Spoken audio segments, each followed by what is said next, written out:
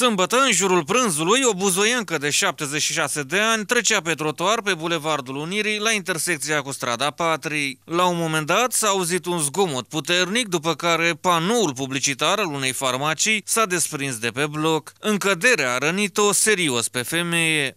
Femeia în vârstă de 76 de ani mergea liniștită pe trotuar în momentul în care, din cauza vântului foarte puternic, panoul publicitar al farmaciei s-a desprins și a căzut exact în cap.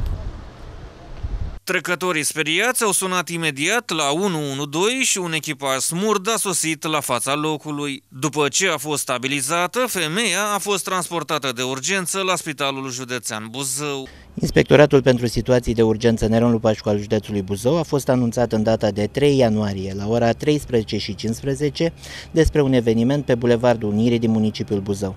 La fața locului s-a deplasat o ambulanță Smurd care a constatat că în urma căderii unui panou publicitar, o femeie era rănită în zona capului. S-a acordat primul ajutor medical și a fost transportată la Spitalul Județean Buzău.